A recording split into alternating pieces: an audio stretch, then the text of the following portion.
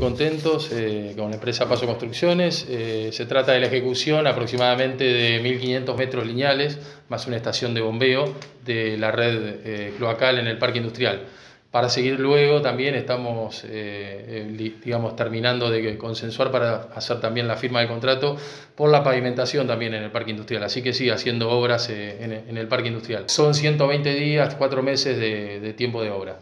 Bien. Así que bueno, muy, contentos y bueno, celebrando este contrato para empezar en breve.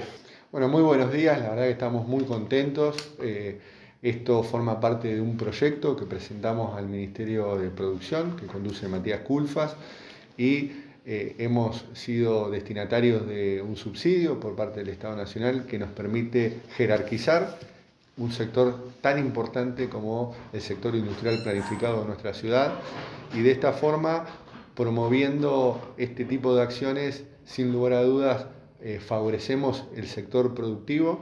Siempre hablamos de una sinergia entre lo público y lo privado, generar en esta post-pandemia todas las herramientas necesarias para invertir, para eh, poder dar infraestructura y que eso sea la condición para que haya más inversiones en la ciudad, para que haya más pymes, para que haya más empresas que generen empleo, que generen producción, que generen riqueza.